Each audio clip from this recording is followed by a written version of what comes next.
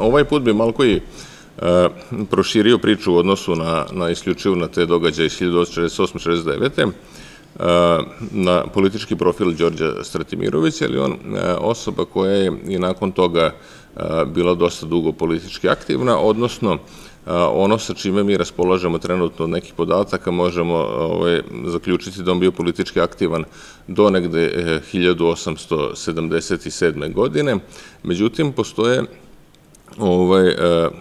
postoje podaci koji nisu dostupni na našem jeziku, a koji su objavljeni u njegovim uspomenama e, na nemačkom jeziku koje on objavio u Beču i postoje dve verzije njegovih uspomena. Jednu je diktirao svojoj Čerki Ljubici koje su objavljene na nemačkom jeziku u Beču, gde on nastavlja da opisuje neke događaje iz svog života i nakon 1877. Da podsjetimo, on je živeo do, 1000, do 1908. godine, znači de facto od, od 1822. do 1908. njegov životni vek se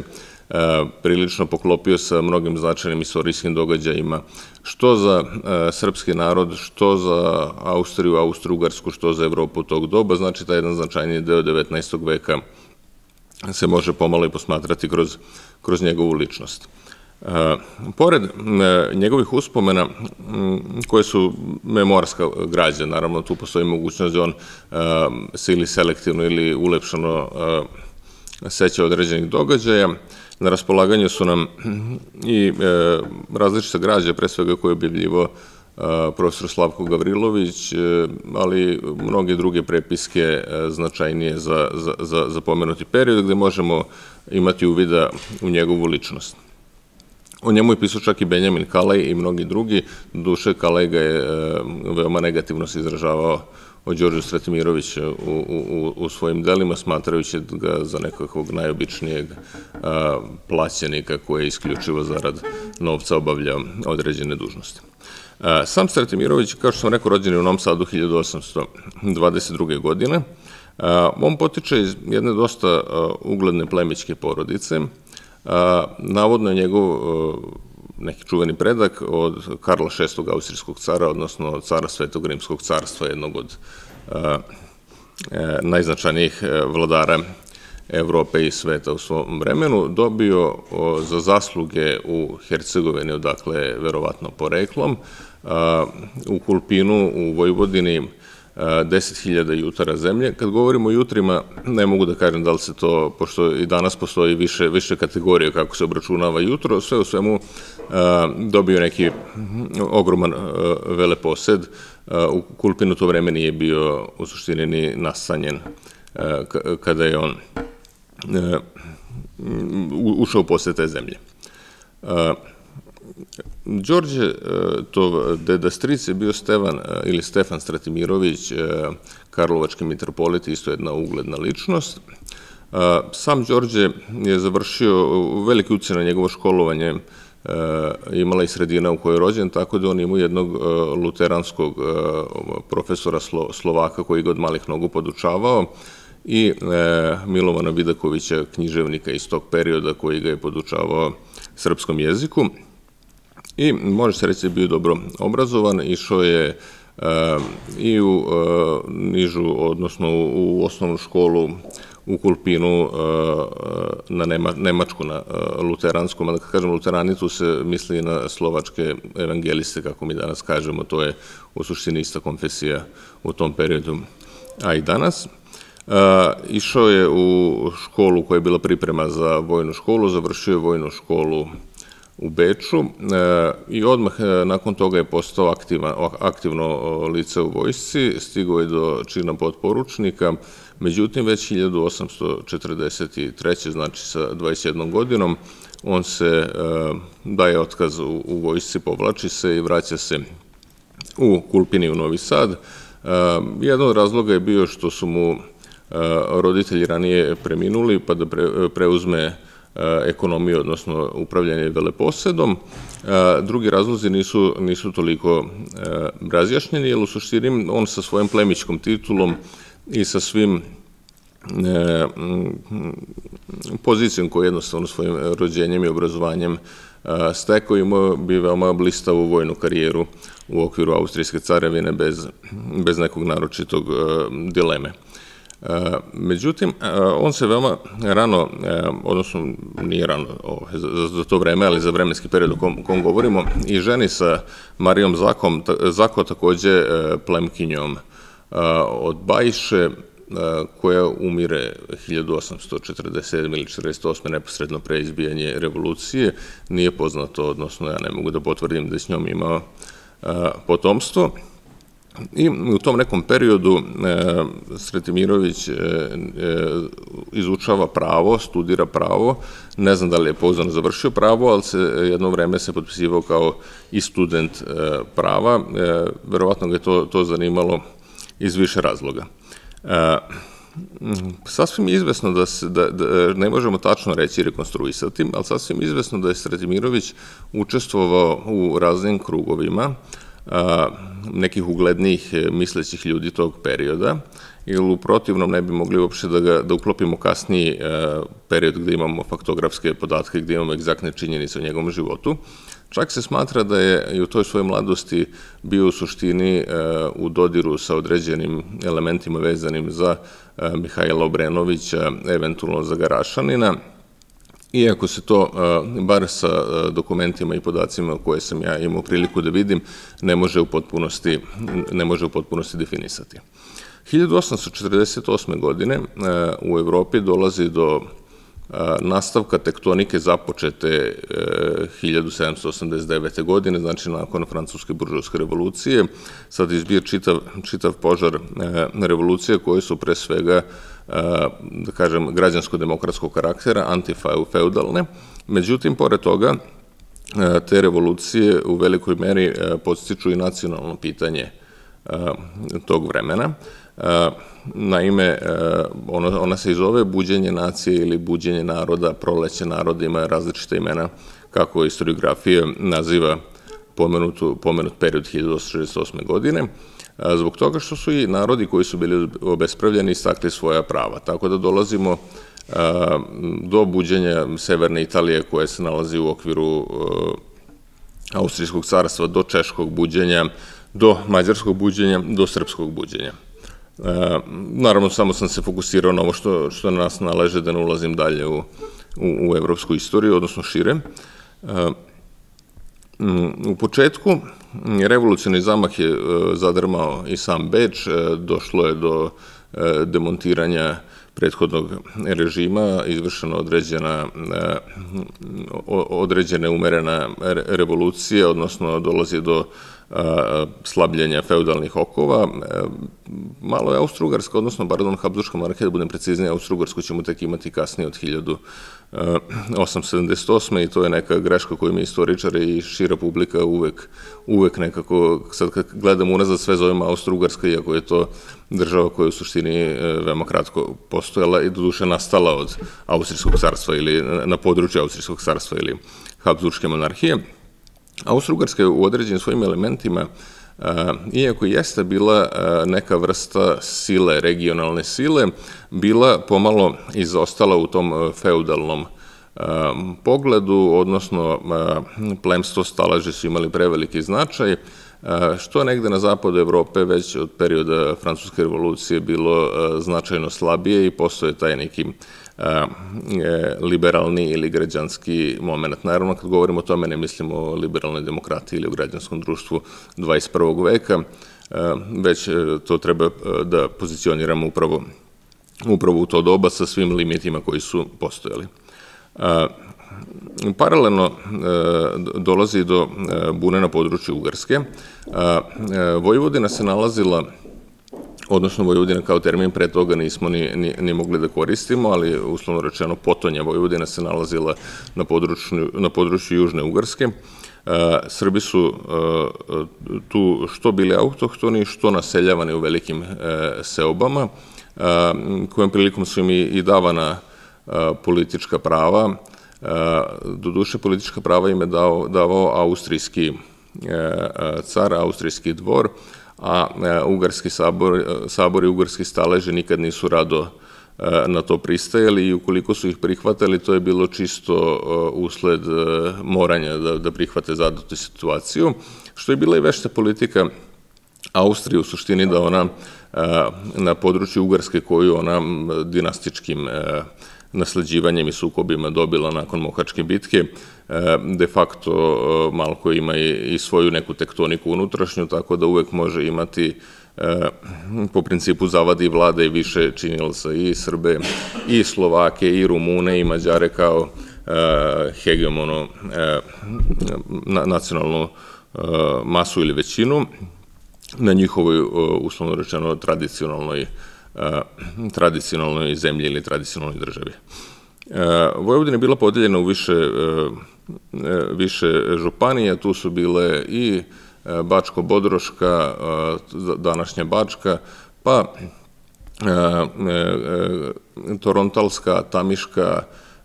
čak i e, Kraška županija u Rumuniji. Srem je bio županija koja je opet nekako tradicionalno pripadala Ugarskoj, ali i hrvatskom delu Ugarske. Sada ne ulazim previše u, u te stvari. Naravno, postojala i vojna granica, tako da i u Sremu, i u Bačkoj šajkaški bataljon, i u Banatu postojali su i dištrikti poput e, Velikog Kikinskog i Potijskog dištrikta gde su e, Srbi dobili određena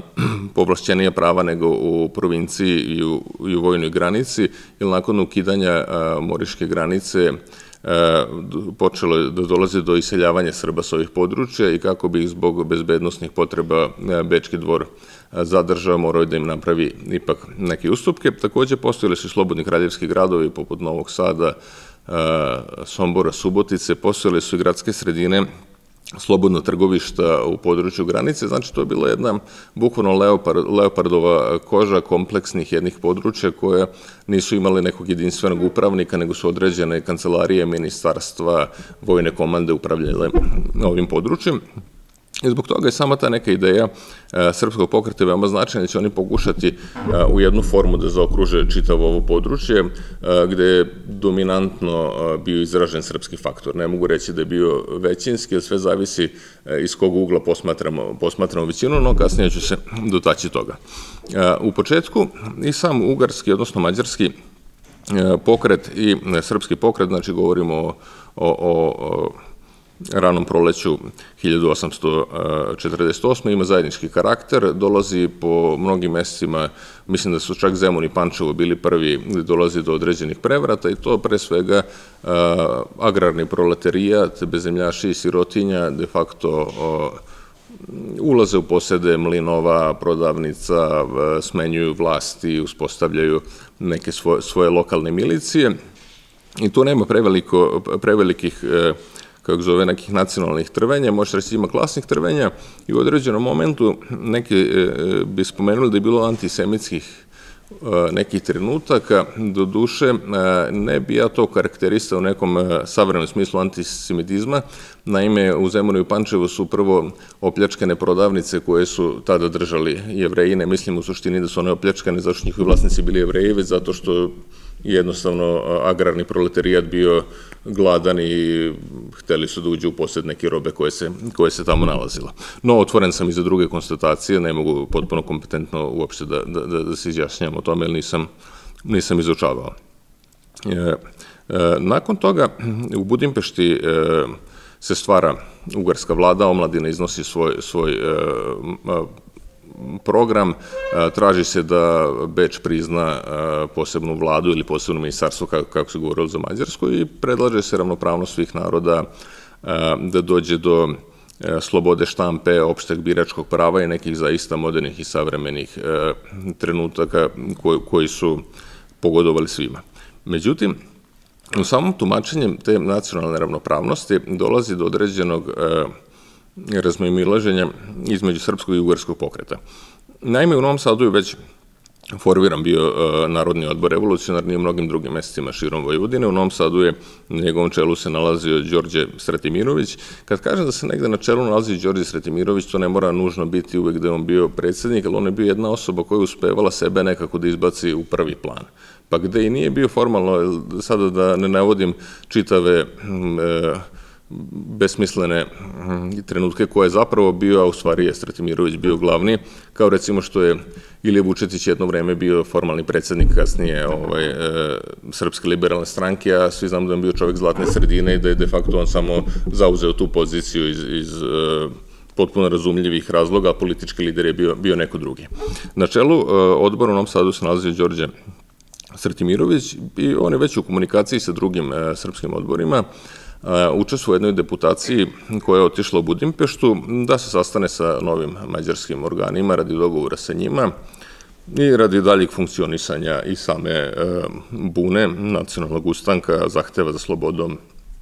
i svim drugim stvarima, e, gde je došlo e, u nekoj u ishodištu do nesporazuma prilikom jednog direktnog sastanka između Lajoša Košuta i Đorđe Stratimirovića sa delegacijama, posebno je zanimljivo ovaj moment, jer će Đorđe Sretmirović i Lajoš Košut i nakon toga sarađivati, iako će de facto u ovom momentu izazvati formalno, kao kažem, započeti jedan krvavi sukob ili sled događaja koji će reflektovati i sa oružanim sukobima i sa ratom koji je vođen na području Vojvodine. Naime, e, Košut je smatrao da u Mađarskoj možda postoji samo jedan, kako da kažem, politički, diplomatički narod i jedan jezik, a to je mađarski, dok je e, Đorđe Stratimirović insistirao na tome da u Srbiji e, svoj poseban narod i da oni de facto priznaju de facto, mađarske zahteve, ali uz ogradu da se Srbima prizna pravo na svoju narodnost i da im se priznaju i stare privilegije koje do duše nisu toliko utemeljene u tom revolucionarnom toku, ali su Srbima davala određena prava u pogledu prosvete, u pogledu crkve i drugih stvari i e, e, Košut ne odustaje od e, ideje da može u modernom smislu pričati samo o jednom narodu. On ne spori da Srbi jestu poseban narod, ali ne nacije na području Ugarska i te da oni samo kroz u stvari slobodu Mađara mogu da budu i sami slobodni kao ti neki mađarski, mađarski građani. I to je prilično jedan e, e, teško, teško objašnjiv e, e kompleks, e, moment zato što e, imali smo za vreme verskih ratova u Nemačkoj e, pravilo cuius regio eius religio. To je e, bi, e, značilo čija je e, zemlja tog je religije. I onda gde se vladar određene nemačke države opredeljivo za protestantizam, svi njegovi podani su morali da budu protestanti. Slično je bilo, znači, suprotnoj strani sa katolicima, taj e, srodan princip tome je preuzet e, u Habsburgskoj carevini i pre svega na njemu su insistirali hrvatska i, i mađarska feudalna elita, to je da je u stvari narod onoga čije je plemstvo, a pošto je plemstvo, bez obzira na nacionalnu pripadnost, u Ugarskoj smatrano mađarskim plemstvom, ili u Hrvatskoj, pa čak i Srbi plemići su smatrani e, naslednim hrvatskim plemstvom, onda rekla ako je hrvatsko plemstvo, onda je hrvatski narod, isto je bilo e, u slučaju Mađarske, znači ako je mađarsko plemstvo, onda se narod treba smatrati mađarskim, to su oni smatrali, e, insistirali na tome, svim da normalno je da neko Srbin, ali to je njegova privatna stvar, on može da bude bilo koje druge nacionalnosti. I na kraju je u stvari dogovoreno da ništa nije dogovoreno, Sretmirović insistirao na tome da ukoliko Košut ne podrži srpsku platformu, ukoliko se ne dogovore, da Srbije mogu da zatraže e, svoja prava i na nekoj drugoj adresi, aludirajući pre svega na Beč, ovaj, na što je e, Košut rekao da u tom slučaju će im se mačevi ukrstiti. Postoje neka svedočanstva Recimo Jovan Polit, e, otac Mihajla Polita, i to iz druge ruke preko, preko Mihajla Polita, navodno je pričao o tome da su bili u veoma neugodnoj situaciji, da su se bojili da će ih odmah na licu mesta e, pohapsiti, međutim da su u nekoj opštem uznemirenju napustili e, prostoriju Košutovog stana, oni su u njegovom prirodnom stanu našli i vratili za Vojvodinu. U Vojvodini je došlo do većeg, već kako da kažem, kulminiranja situacije, do uh, ukupljanja ljudi, pravili su se svuda odbori i počeo da se vrši pritisak na patrijarha Josifa Rajačića, koji je bio jedan prilično konzervativni klerikalac, izuzetno oslonjen i vezan za austrijski dvor. Mnogi istoričari danas i to opravdavaju činjenicom da on nije imao tu mogućnost, odnosno da generalno srpski klerici nisu imali tu mogućnost da se kockaju ili su se bojili da ne izgube u potpunosti kakvu takvu autonomiju Srpske crkve. Međutim, naravno, tu postoji različite političke figure, različiti posmatranja sveta posmatranja sudbine budućnosti,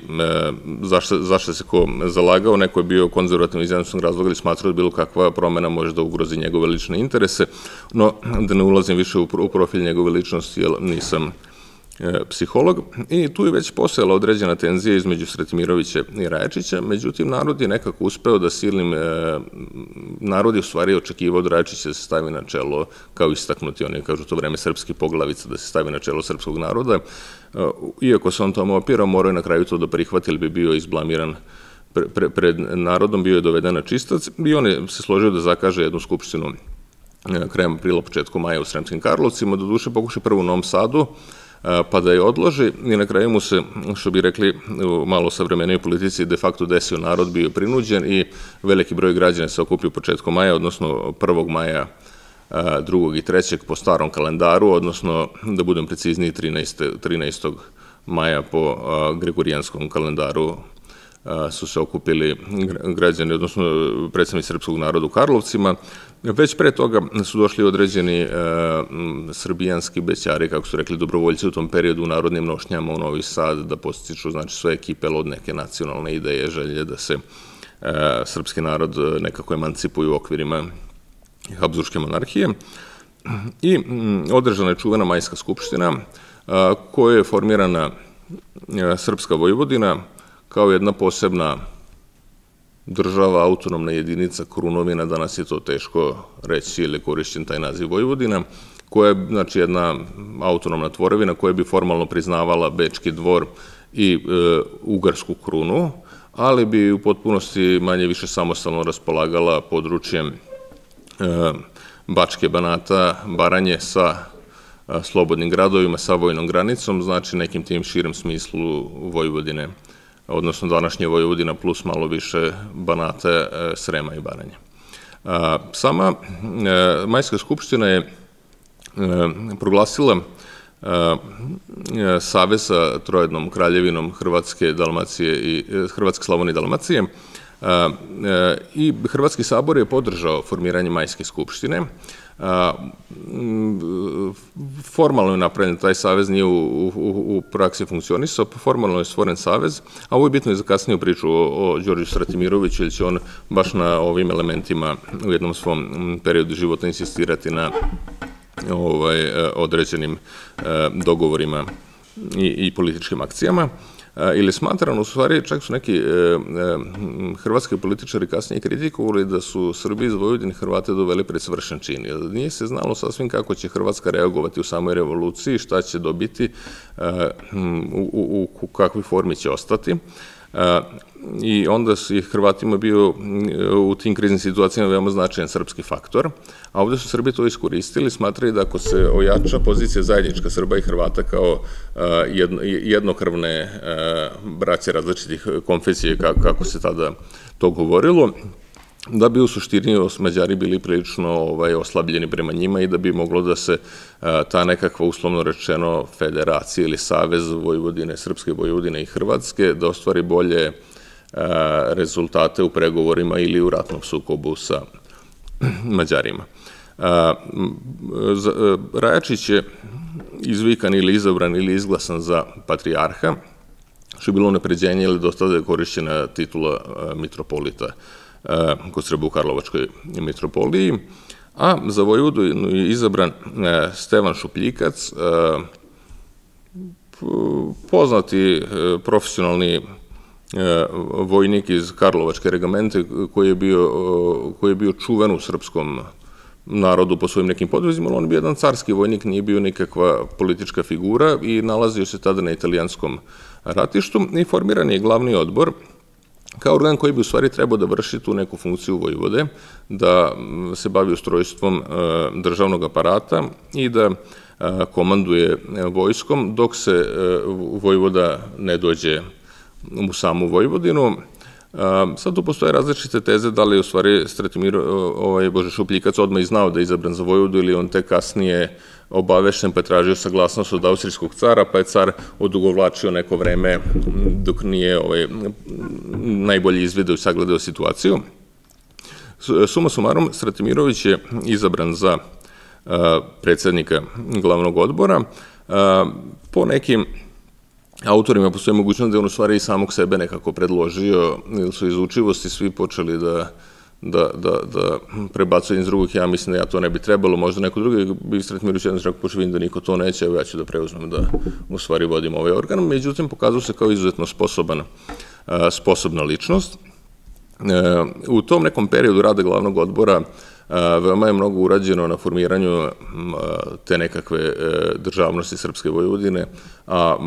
kruna svega toga možemo reći i da je napravljen čak i asignat e, kao novčanica posebna, što je označavalo ipak e, neki najviši stepen ovaj, državnog tog usavršavanja. Nedugo nakon toga došlo je do sukoba. Prvi sukob nastao kad je mađarska vojska napala Sremske Karlovce, E, Stratimirović je komandovao srpskim trupama i uspeo da, da, da izvojuje e, pobedu. E, kasnije ga u nekim svojim osvrtanjima i memoarima, do duše koji su bili upodobljavani austrijskom radi dobijanja plemičke titule dodatne austrijskom vladaru, Rajčić je tvrdio da je u stvari Stratimirović kao avanturista, egzibicionista i izazvao rat sa, sa, sa Mađarima. Međutim, opet s druge strane, Stratimirović, ako je izazvao rat sa Mađarima, onda možemo reći da on je doveo do stvaranja kakve takve srpske Vojvodine, odnosno prvog tog pojma i, teritorije koje se desila na ovim sadašnjim prostorima. Stratimirović je sa, sa svojom vojskom, odnosno je bila narodna vojska, sastavljena manje više od šajkaša koji su bili raspoloživi. Zanimljivo reći da je u tom pokretu učestvoj Svetozar Miletić, koji je tu negde skoro i vršnjak sa Stratimirovićem, koji je kao student se vratio iz Požuna i e, učestvovao u agitaciji po, pre svega po šajkaškim e, mestima da vojnici ne idu na italijansko ratiše, ne ratuju za račun cara, nego da ostanu kući da se e, bore protiv mađarske vojske u slučaju da dođe do sukoba koji je već postao sve izvesniji. I kasnije će biti zanimljivo odnos Đorđa Stratimirovića i Svetozara Miletića, iako nigde eksplicitno nisam uspeo da, da dođem do do ovaj, neke analize ili do neke monografije koja ih direktno upoređuje ili e, sučeljava. E, već e, tu, tu došlo do velikog broja e, značajnijih bitaka i borbi kod Mošorina, Vilova, Srbobrana, gde je Stratimirović zaista uspeo da, da izdejsuje velike pobede zahvaljujući svom obrazovanju i talentu. Moramo reći da on bio izuzetno i mlad čovek, jer on je 48. de facto imao 26 godina, znači nije bio, ne može se govoriti da neko veliko iskustvo bilo u njegovoj strani. A tu možda i postoji i klica istine u smatranju Patrijarha Rajačića da je Sretimirović bio užarena glava, okružen drugim užarenim glavama što opet s druge strane e, ne možemo reći da je Raječić bio apsolutno u pravu ili de facto rezultati i postojao. E, oktobra dolazi do e, situacije kada u Vojvodinu stiže oktober 1948. E, Vojvoda Šupljikac i glavni odbor predaje Vojvodi komandu i sve ostale funkcije. U tom periodu dolaska Šupljiksa e, dolazi do većih e, vojnih e, pobeda, ali dolazi i do određenih problema druge vrste, naime, taj karakter narodne vojske, oduševljenog pokreta počinje da se gasi i taj srpski pokret de facto prelazi u jedan austro mađarski, austro-mađarski sukob, gde su Srbi samo instrumentalizovani. To je jedan od mogućih pogleda na, tu situaciju, mada drugi tvrde da je u stvari to jako dobro bilo što su se Srbi institucionalizovali kroz, kroz austrijsku formalnu državu. Ono što e, sam verovatno preskočio da kažem, na to je činjenici da u početku srpski pokret u Vojvodini bio izrazito i anti-austrijski,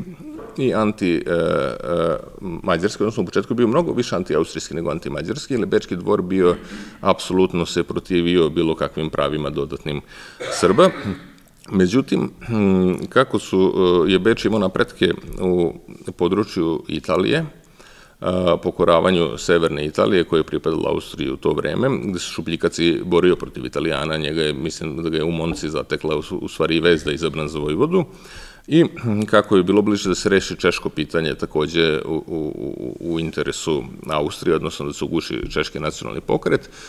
tako je Bečki dvor shvatio da bi sad bilo možda najzgodnije da se obračuna i sa Mađarima. I upravo sama situacija postojanja već proglašene Srpske Vojvodine i svega što se dešavalo, pomoglo je Austriji da prelomi u korist e, srpskog pitanja i da kaže, ok, sad ćemo mi da u stvari e, Mađarima napravimo problem sa Srbima i na taj način da ih e, da probamo da ih oslabimo dok ih ne porazimo. U tom nekom periodu posle povratka, već nakon proglašenja Srpske Vojvodine, Raječić je otišao u Innsbruck na konsultacije sa austrijskim carom e, i vratio se sa idejom da ojača svoju, svoju ličnu vlast. Tu nije bila dobra situacija, pa Đure Sretimirović je nikako, navodno, naravno, dolazkom Šupljikca on išao oslabio i tu dolazimo do onog momenta da on zaista ima određeno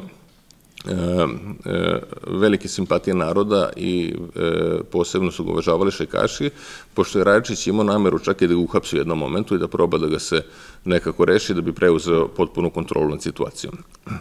A, dalje situacija je manje više jasna do kraja revolucije. Nakon smrti Šupljikca, već u, u decembru iste godine, Mm, Rajačić nije dozvolio e, glavnom odboru da izabere Vojvodu, na što je naravno Stratimirović računao da proba on da sebe kandiduje, već je direktno carskom zapovedniku Majerhoferu predao titulu Vojvode Rajačić iz svojih ruku. Kasnije će Rajačić pokušati da na sebe i prebaci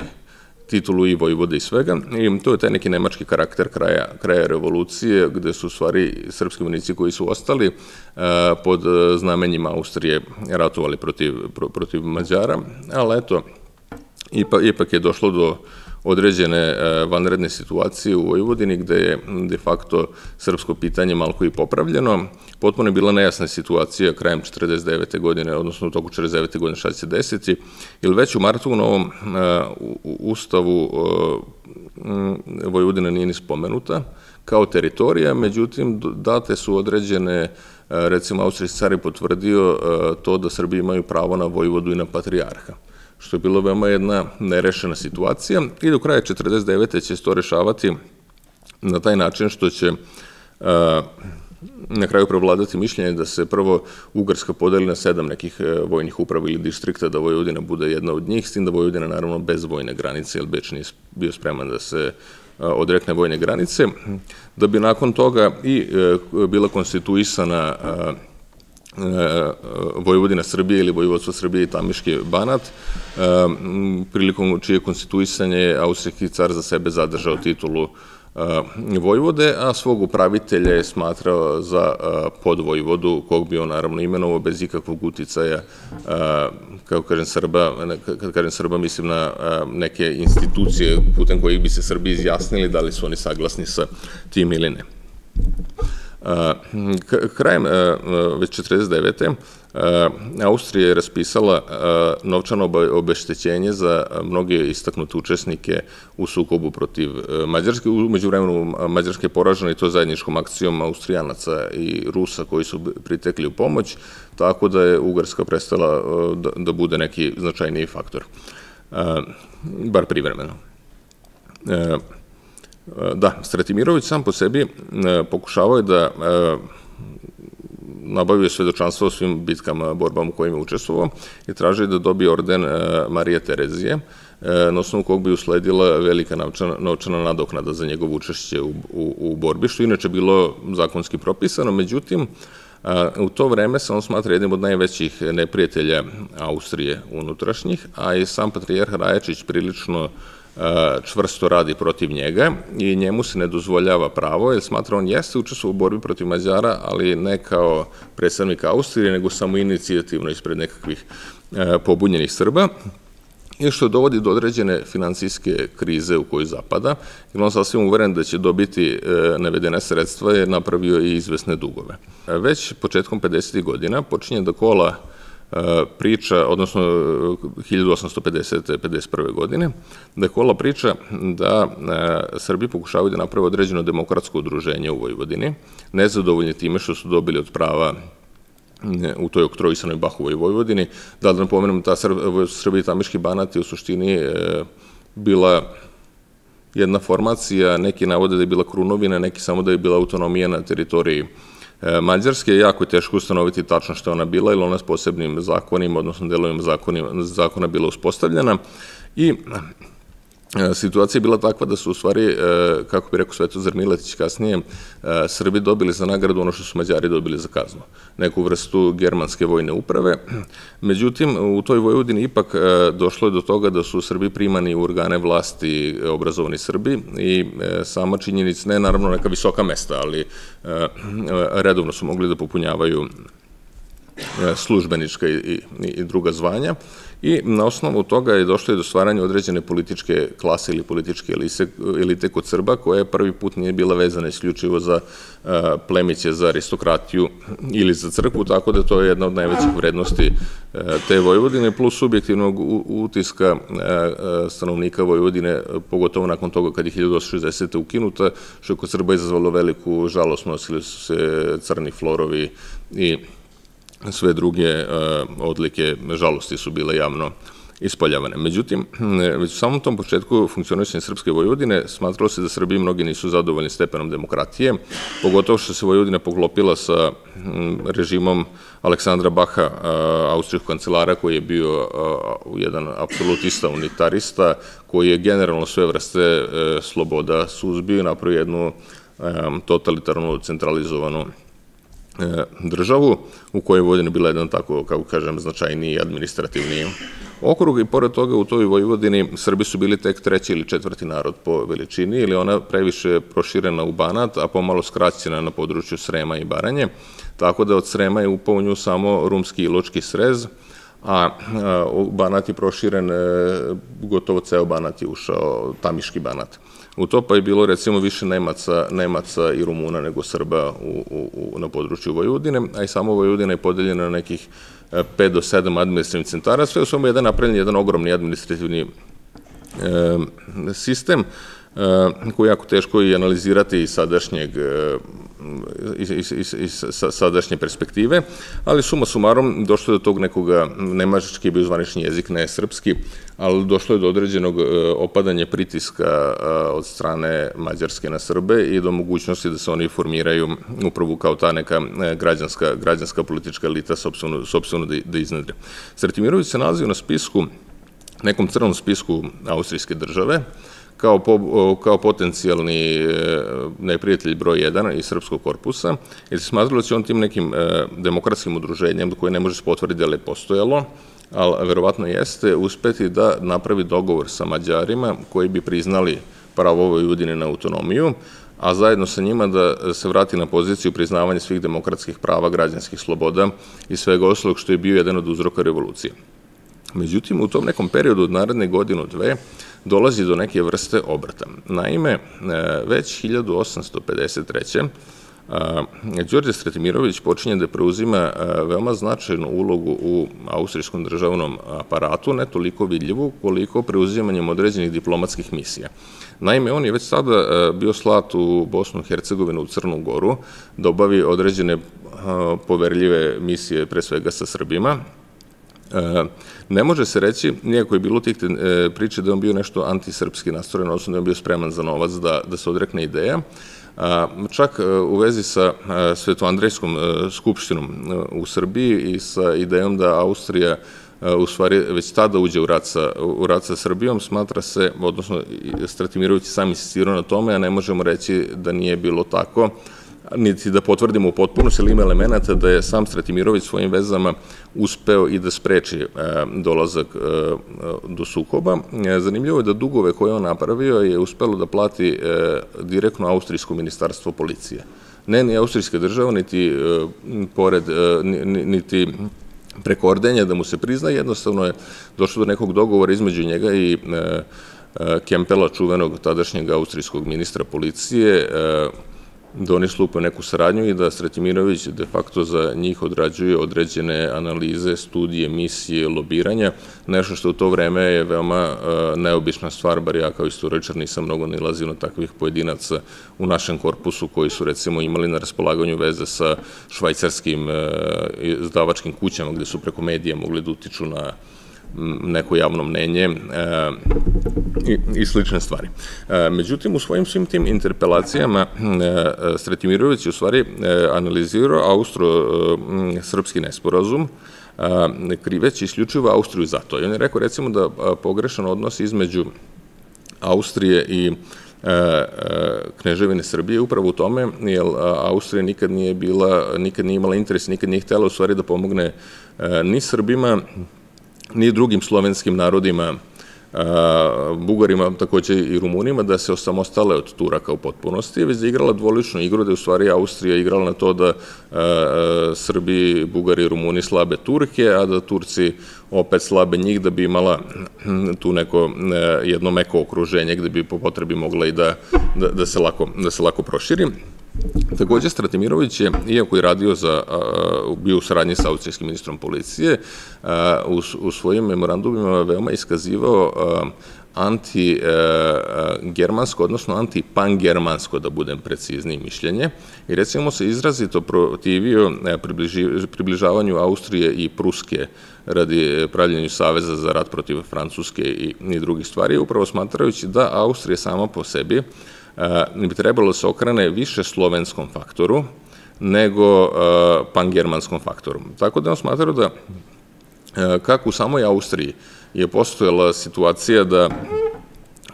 ima mnogo Slovena i da su Sloveni građani Austrije i da bi Austrija trebalo maksimalno da uvaži svoje građane Slovena i da im da sva prava. Na isti način Austrija bi trebalo i da pomogne Slovenima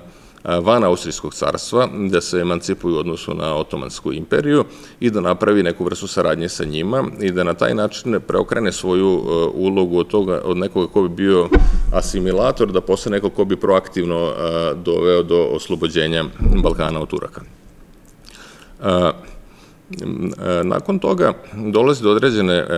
popuštanje nakon Bahovog apsolutizma u, u samoj Austriji i dolazi do jedne situacije kada se javljaju federalističke ideje u samoj, u samoj Austriji i sa austrijskom vladom koja je bila začetnik nekih federalističkih ideja. Stretimirović e, takođe odlično sarađuje. On čak e, pokreće list Srbobran koji potpomaže austrijska država, e, koji među Srbima pokušava da raširi ideju federalizma. Iako je Srbobran, nisam siguran, ne, ne Zagrebački Srbobran, mislim da je ovo bio da li Novi Sad ili, ili tako, tako negde. Ovaj, ili ima dva Srbobrana, ima posle i Srbobrana u Zagrebu koji nema, nema veze s ovim Srbobranom u kasnijem periodu naselja da izlazi. I E, u isto vreme tu je bitno napomenuti razliku između Miletića i Sretimirovića. Jer, e, nakon Blagogoveštanskog sabora 1860. kad su Srbi zatražili to pravo da im se prizna Vojvodina i neke druge stvari, naravno nakon ukidanja Vojvodine, da podsjetim da upravo zbog homogenizacije ovaj, Austrije za, za borbu na, na drugim frontovima, shvatili su da su i Mađari preko potrebni, a da Srbi više ne predstavljaju toliko demografsku ni vojni potencijal, pa jednostavno Austrija rešila da se Vojvodina ukine. Prilikom samog ukidanja Vojvodine, Stratimirović je ozbiljno lobirao i bio blizu tome da Vojvodina nastavi da postoji u malo ublaženom obliku i da dovede sebe u poziciju Vojvodine, međutim ta njegova takođe ideja je bila izjalovljena, kao i nekoliko sličnih ideja. Recimo, nakon Blagoveštanskog sabora, na sam saboru izvojili su se nekako, da kažem, tri, tri, frakcije. Uslovno rečena, Jedna je bila austrofilska, tu je naravno Patrijar Hajačić e, podržavao, to su bili koji su smatrali da sudbine Srba u Vojvodini, bez obzira što je Austrija ukinula Vojvodinu, mora biti vezan isključivo za Bečki dvor i da se ne sme više rizikovati bilo kakvom saradnjom sa nekim drugim sem sa Bečkim dvorom, pa možda ih nekako i privolimo da nam vrate Vojvodinu. Druga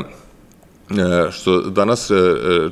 često zvuči čudno kad se spomene, takozvana mađerofilna e, grupa je bila upravo grupa na čelu sa Svetozarom Miletićem, koji su rekli ovako, pokazalo se da mi na Beč ne možemo da računamo, da nas Beč koristi kao sredstvo s obračun sa Mađarima i da u suštini naš cilj treba da bude da nateramo Mađare da nam priznaju autonomiju, a mi da se zalažemo za stanovište mađarske opozicije, da Mađarska dobije maksimalna državna prava, a da mi u Mađarskoj budemo federalna jedinica ili krunovina ili autonomija. I treći ili neko srednje mišljenje u celoj priči je predstavljao e, Đorđe Stratimirović, koji se vratio onom što sam pominjao priči o odnosu Zagreba i Novog Sada, ideji da u stvari proba da se napravi osovina e, Vojvodina i kako se zove e, Hrvatska kao jedan savez, koji bi mekšao nekak uticaje i Austrije i, i Mađarske, I e, čak imao ambiciju u jednom momentu negde e, e, pred samu, odnosno nakon same Austro mađarsko-hrvatske nagodbe i umalo nije izdejstvo da bude zamenik kako da kažem, hrvatskog kancelara Bana,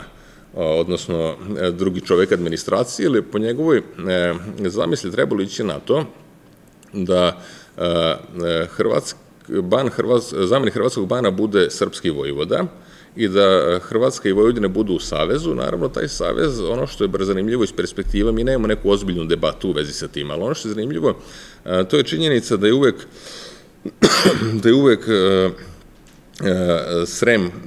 gledan kao deo Vojvodine kroz te priče i tako da možemo smatramo da je Stratimirović tu u suštini možda i znao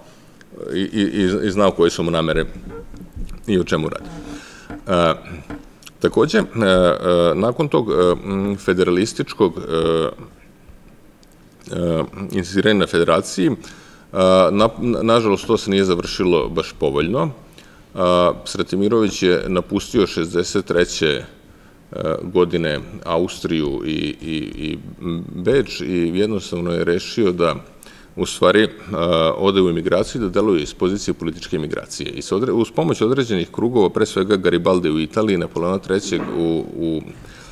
Francuskoj, on je uspeo da se poveže sa različitim panslavističkim pokretima, imao ideju da inicira neku vrstu anti-otomanskog ustanka na Balkanu i počeo određenu anti-austrijsku delatnost, E, što je iz dosta nerazjašnjenog razloga imalo, e, predstavljalo veliku štetu za, za same Austrijance i Austrijanci su na kraju rešili da mu ne daju, da mu ne obnove pasoš, da mu ukinu sva primanja koje je već imao zakonom pravo u Austriji, da bi ga u određenom momentu privolili da se on vrati u Austriji da pokušaju da naprave nekakav e, dogovor sa njime. I zaista nakon, jednostavno nije uspeo da napravi kapacitet za neki veći ustanak, ustanak na Balkanu. Zanimljiva je činjenica da je on svaki posao sa jednakim elanom prihvatao, da on uopšte nije klonuo, pada u malodušnost. Ovdje su njima određene političke projekte koji rešio, ok, sad guram to, ako to prođe, to će biti pobeda, ako ne prođe, idemo dalje. I borimo se, imaju tu neku vrstu etike koja je prilično ovaj, redka i koja se danas čak i izučava na određenju. Ja sam recimo čito, čito Anvara El Asada koji je na sličan način razmišljao, koji je bio spreman da godine provede u zatvoru i sve, ili ima neki svoj krajnji cilj eh, kako da postupi. Nakon sklapanja Austro-Ugarske nagodbe 1867. godine, Stratimirović uz podršku Maširevića, tadašnjeg srpskog patrijarha, s kojim je sklopio izuzetno bliske odnose, dolazi u jednu čudnu poziciju, naime on preuzima sada vojstvo nad klerikalcima i konzervativcima u Vojvodini, e, formira dnevne novine, e, e, da srpski narod sa B, srpski narod, tada se to bezvučno još koristilo, i e, tu na neki način on i podržava taj austrougarski dualizam, ali opet insistirajući na određenim srpskim, pre svega crkvenim pravima i autonomijama, gde, gde naravno se razilazi sa Svetozarom Miletićem i liberalnom opozicijom koji su protiv toga, koji su na strani nezavisnosti Ugarske. I cela, cela situacija je prilično čudna, pogotovo što Sratimirović u tom momentu ima i određena umerenija mišljenja, znači on nije spreman da potpunosti podrži uh, Ugarsku, da uh, dualizam već da podrži uh, realnu političku situaciju koja je nastala i da na osnovu nje gleda koji bi bio mogući sad interes za srpski narod, dok uh, Miletić pre svega u tom momentu ide i sa neke možda idealnije, idealnije pozicije. Moguće, međutim, i sami ti konzervativci, klerikalci koji rade sa njime, izuzev pomenutog patrijarha, su previše po njemu mađaronski okrnuti, tako da se on od tih sobstvenih novina vremenom distancira, i smatra da njegovom abstinencijom iz Novog Sada one su prešle u, ruke, uslovno rečeno, Vladinovaca ili Mađarona i prestaje saradnju sa sa sobstvenim novinama. Uh, mimo toga, ono što, što recimo zanimljivo, što mi je sad uh, uh, promaklo da kažem, a to je da se on 1000 854. ponovo oženio sa jednom Austrijankom. Albinom Beck plemkinjom austrijskom i s njom je dobio i, i decu i silnu porodicu i njih je recimo venčani kumu je bio Mihajlo Obrenović, koji je tada bio u izgnanstvu u Austriji. A još jedna stvar koja spaja njega i Obrenovića je činjenica da U toku e, pravljanja Srpske Vojvodine, odnosno revolucije, srbijanski dobrovoljci sa Vojvodom Kanićaninom su došli u Vojvodinu da pomognu Stratimiroviću. Međutim, jedan od njihovih uslova za e, pomoć je bilo, pošto tada Karđorđević bio na, na vlasti knez Aleksandara, da se upravo Stratimirović obaveže da će e, isterati iz Banata, gde je pre svega obitavao iz Novog Sada, Mihajla Obrenovića. Tako da on bio donekle i prilično upućen u te nekakve dinastičke odnose e, vezane za, za, za, srpski ili, e, tada bolje reći, srbi, srbijanski prestor. E, već u jednom periodu on prilično intenzivno i sarađuje sa Grašanom Mihajlom za vreme Mihajlove druge vladavine. Nije poznato tačno kakve on radio za njih stvari. E, e, pretpostavlja se da on u stvari vršio finansiranje slovenskih medija preko njih i e, u Evropi pokušao da napravi što povoljniju klimu, bolju sliku da stvori o Kneževini Srbiji i da pomogne ovaj, generalno rešenju istočnog pitanja na što pogodniji način način za Srbe. Benjamin Kalaj ga prilično kritikuje u svojoj knjizi gde kaže da ga se na kraju odrekao i sam uh, Mihajlo Obrenović pred smrt, što nemamo neki dokasem Kalajeve tvrdnje, zbog toga što je uh, Srtimirović za svoje usluge bogato, bogato naplaćivao, ili on u stvari u Austriji, da bi održao tu neki svoju sliku imidž, živio na izuzetno visokoj nozi, kretao se po aristokratskim krugovima i to mu je ujedno omogućavalo veliki uticaj koji je, koji je tada mogao, mogao da ostvari, što naravno nije bilo jeftino. Tako da možemo reći da se on u stvari bavio i lobiranjem u to vreme, iako to nije, nije bio neki, neki termin. U jednom momentu je čak pokušao da pređe da radi e, da pređe, e, pre odlaska u emigraciju, da pređe e, u rusku službu carsku, da radi diplomatske određene poslove za njih. E, međutim, preko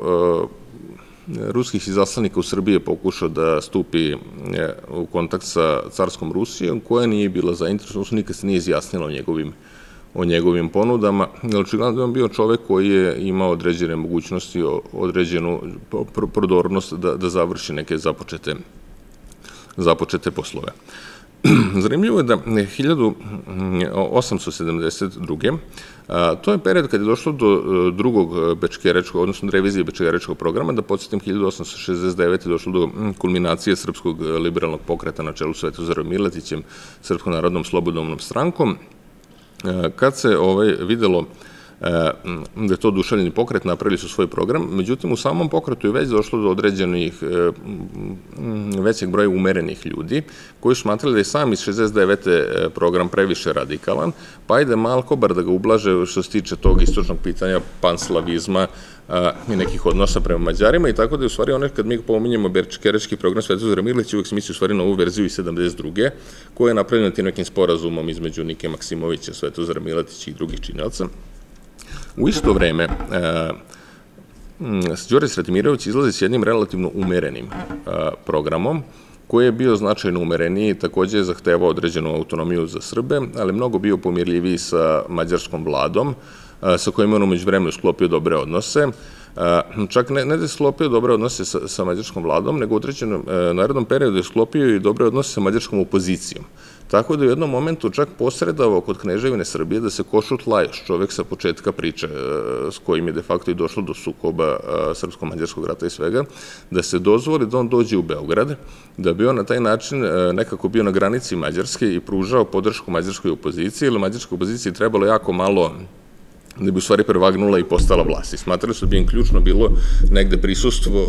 Košut Lajišu do kog može da dođe svaki mađarski novinar s kojim može da se razgovore s priča Košut je tu samo što nije prešao u Zemun. Međutim, e, vlada Kneževine Srbije nije, nije videla svoj interes tome, smatrala da je to bi moglo dovesti do komplikovanja odnosa sa samom e, Mađarskom nepotrebnog, e, bez ikakvog naročitog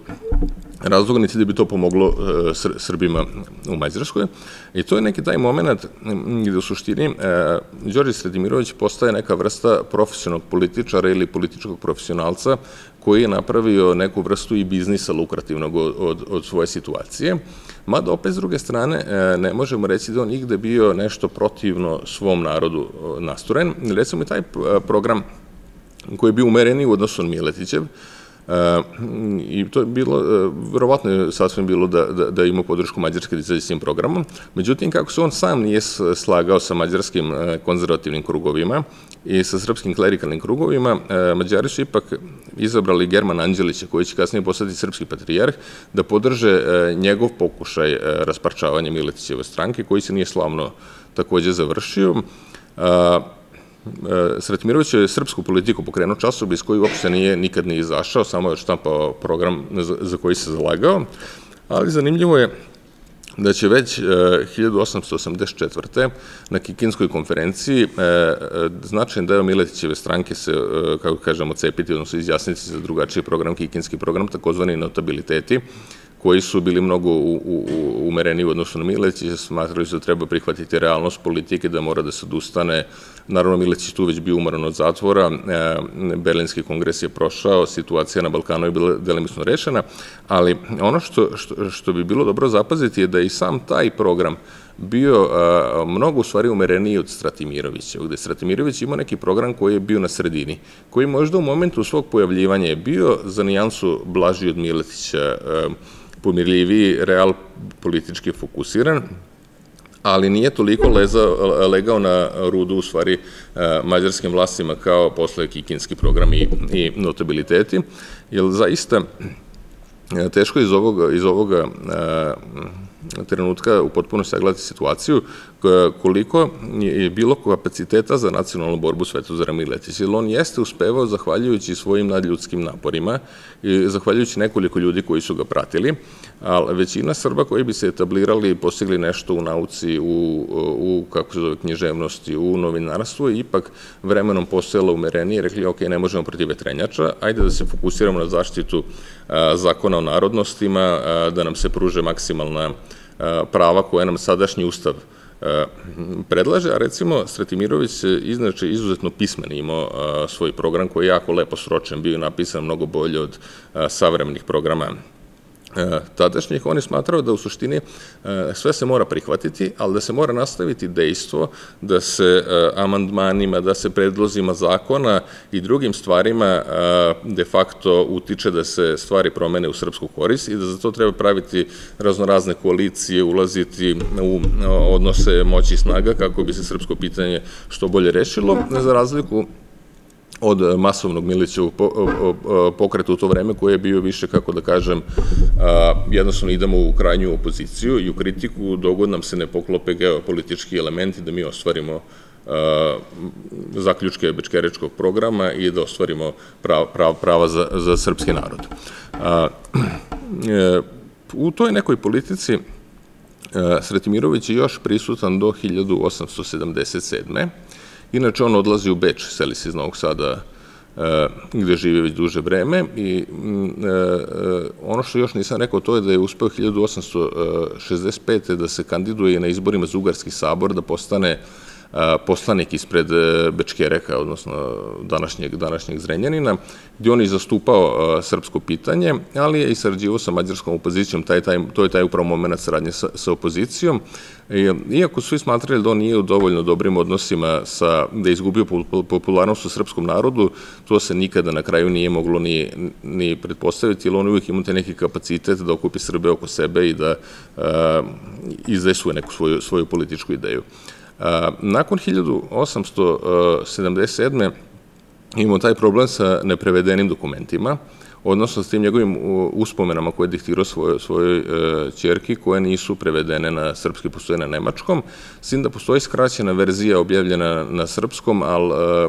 na srpskom je samo događaj vezane za srpsko pitanje analizirao. I bilo bi nam mnogo celishodnije kada bi u suštini e, nauka se malo pozabavila analizom njegovih nemačkih dokumenta, ne samo zbog njega kao jedne živopisne, neki kažu avanturističke ličnosti, već zbog same činjenice da se on, da kažem žargonski, motao oko mnogo bitnih stvari, mnogo događaja, predlomnih događaja koji bi nam možda i bacili neko bolje svetlo na, na, na značajne momente naše nacionalne istorije u 19. možda čak i na početku 20. veka. Sretmirović je živeo u Beču, odlazio je na letovanje u jedno mesto na nekom jezeru u Austriji i sedam godina pre smrt počeo je da ima problema sa beščikom, od čega se lečio do same smrti. To su neke oficijalne stvari koje, koje znamo.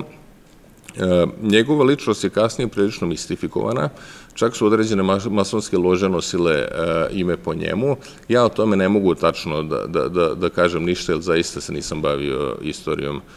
masonskog pokreta, niti sam neki verodostojan tekst o tome pročitao, što ne znači da što ne znači da neću. Generalno mislim da je Sretimirović, e, možemo reći, jedna pozitivna ličnost, pre svega vezano za srpski pokrot 1848-49, ali i kasnije, možda nije dovoljno politički konzistentan, ali moramo čoveka da posmatramo u vremenu u kom je živeo sa svim njegovim manama i nedostacima i ono što možda na njemu vidimo, to je taj uticaj novca na politiku koji je i danas u suštini veoma značajan, ako ne i presudan, da i tada postojao naravno, e, e, o kome god drugom da pričamo, moramo, moramo sličnu situaciju konstatovati. E, recimo, šira javnost uglavnom ne zna da je većina, većina medija pored pretplate, zastava se maksimalno izražavala iz pretplate, glasilo Miletićeve stranke, ali da je takođe i zastava i recimo Srbobran u Zagrebu, da su bili finansirani, na primjer, da im je crnogorski knjaz Nikola dao određena sredstva kako bi njega prikazivali ulepšano jer, na primjer, njima nije bilo značajno toliko da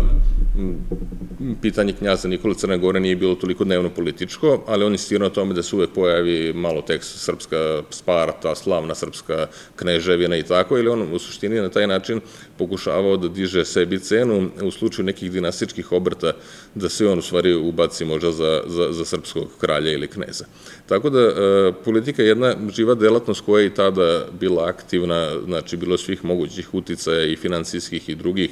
e, na kreiranje određenih e, uslovno ne možemo reći medijskih, ali recimo javnog mnenja u, u, tom periodu, tako da možda je samo Stratimirović u, u svom drugoj polovini karijere bio više usmeren ka tome. Eto, to, je sve što bi ja sad ovako ukratko, ukratko rekao Đorđu Stratimiroviću, ukoliko ima nekih pitanja, ukoliko znam da odgovorim, ja bih odgovorio, sam pokušao sad da izložim njegovu ličnost, da pohvatam neke ključne momente njegove ličnosti, jer zaista mislim da da, da njegova ličnost iziskuje nekoliko, nekoliko još e, mnogo e, stručnijih i ozbiljnijih studija. Prvo, sama studija oko toga da li je vezana za e, Svetoandresku skupštinu, koliki je, kolika je bila mogućnost samog napada Austrije na Srbiju i koliko je on uticao u, u odvraćanju te situacije, Mi imamo e, zaista dokumente brojne koje je napisao gde ono razjašnjava situaciju i zastupa srpsko stanovište i u stvari objašnjava Austriji kako je Austrija mnogo grešila po tom pitanju, ali opet e, niko se konkretno od istoričara nije bavio samo tim, e, tim momentom i to bi recimo značajno, značajno možda rasvetilo i njegovu ulogu, a i mnoge druge u tom našem nekom istorijskom mozaiku političkom kockice poslagalo.